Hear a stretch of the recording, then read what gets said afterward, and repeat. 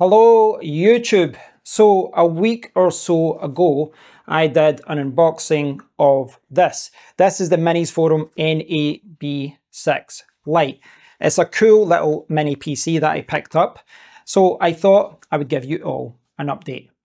So you probably didn't think I would be here. I'm in our pantry under the stairs. This is where we keep tins of soup, bags, and all the rest of the things you would expect in a pantry. But what I've got here is essentially the central hub for our house. Uh, what I've got here is a, a 24 port Ethernet patch panel. Above I've got a 24 port gigabit Ethernet, although I, I can put two 10 gigabit Ethernet in there as well.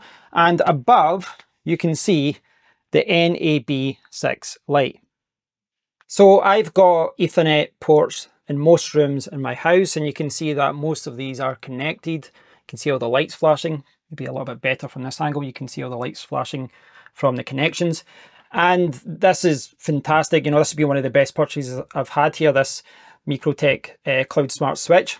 But what I want to show you today, obviously, is the Minis Forum PC. So it's plugged in down here, goes up to here. You can see the charger there, and then we've got the Minis PC itself. Now, if you remember when I did the unboxing, one of the cool things about this is, if I can show you, it's quite hard from this angle, but oh, I'm doing it back to front, that's why. Um, you can pop this open just by doing that. If you look in here, you can see the memory, you can see the SSD, etc. So this came, can I do this from this angle? Let's see.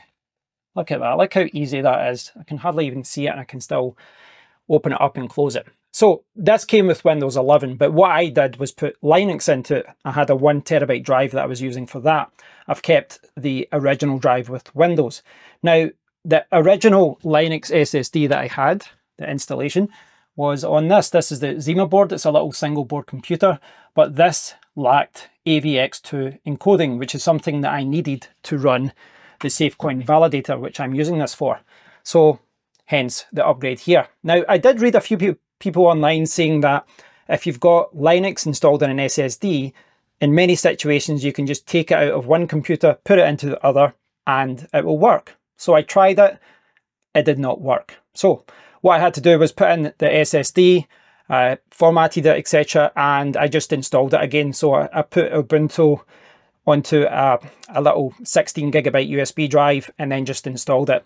I've had absolutely no issues with that. It's something to bear in mind. I've seen a lot of people saying that with some mini PCs, Linux support isn't great, but the MinisForum Linux support seems to be okay. Intel NUCs, etc. seem to be okay as well. But in this setup, you can get an idea of why I wanted this, because this is running 24 hours a day. It's got an Intel i5 12500H, 12 cores, 16 threads, but this has got efficiency cores which is important because I'm running this 24 7. It doesn't have a heavy load. It, you know, it doesn't require a lot of graphical power, but it is constantly running 24 hours a day, 365 days a year. So that CPU was important to me and the fact that it has dual 2.5 gigabit Ethernet. Now, obviously in my current situation, these are two 2.5 gigabit Ethernet ports, but they're connected to gigabit Ethernet. But that's okay in this situation. One of the reasons I liked the fact that this had 2.5 gigabit Ethernet was that in the future, if I decide to upgrade this or change it around, then I've got something that can be used very, you know, in a very useful scenario, perhaps like for media storage or something. And then I've got dual 2.5 gigabyte Ethernet. But it's been very easy to work with lots of ports. That's what I like about it. There's lots of USB ports, uh, dual HDMI, etc.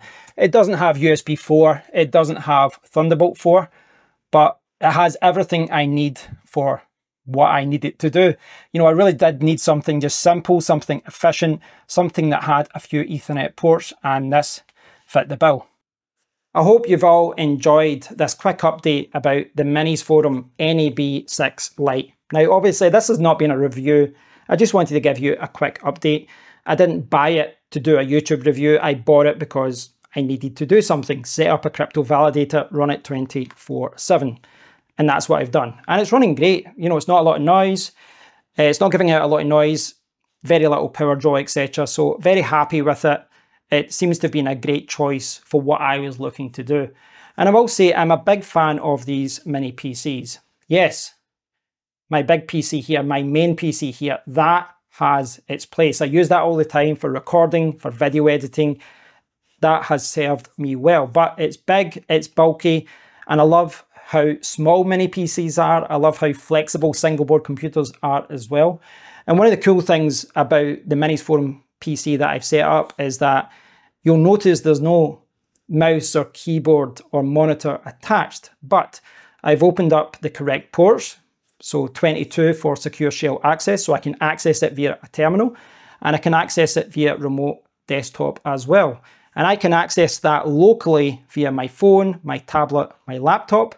But the interesting thing is that through my router, I've got an open VPN tunnel, which means that I can dial in effectively to my home router and then access that computer from anywhere in the world.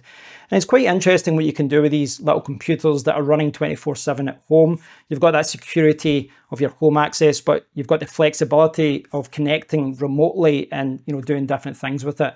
So I'm very happy with my purchase. It came with Windows, but I've switched to Linux and it's handling it really well. So yeah, I hope you've enjoyed the video, guys. I will do more videos about little computers like that in the future. But until then, please do click like if you've enjoyed the video. Click subscribe if you'd like to hear from me again. And please do post a comment. I want to hear your thoughts on this little computer. I'd love to hear if you've got any computers like that yourself at home.